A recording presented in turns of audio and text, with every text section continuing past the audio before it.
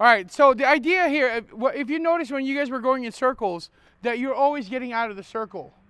That's the purpose. That's why we're doing the pulling.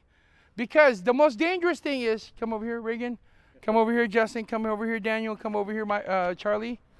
Is to be in the middle, and to be the, in, the, in the sandwich of, of danger, right? So the idea here is that when people say, "Oh, can you fight multiple?" You really can't fight multiple attackers.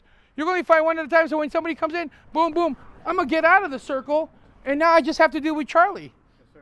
Yes, sir. right? If I am still in the middle, I have to deal with Charlie, Daniel, even the cameraman, Michael. I have ju- adjusted and Reagan, and even though he's peppering me in the back, right? Try that again. Pepper me again. See what happens. You so, right? See what I mean? But the idea here is for you to get out of that sandwich or that the da- pocket of danger, right? Right. So when he when he comes in, boom, boom, I'm coming. I'm gonna pull him out, push him towards him. Why not? sir. Why not? Right? And then from that point, okay, now let's go, fuckers. I mean, let's go, um, people Of the world. of the world. Right? There's no such thing as a fair fight. There's no such thing as a fair fight. There is such thing as who goes home and who doesn't. Yes, sir. Yes, sir. Is it going to be you or is it going to be the other guy? That's completely up to you. Yes, sir. Right? If, if there's four of you guys attacking me and I get out of that circle, the next thing I'm going to pull out is this. Yes, sir. I'm already outnumbered, so I'm going to e- try to even up the playing field. Yes, sir. Why wouldn't I? Why wouldn't I? The moment you see the blade, what are you guys going to do? You think you're going to keep, keep attacking me the way you did? I'm being more cautious. Right?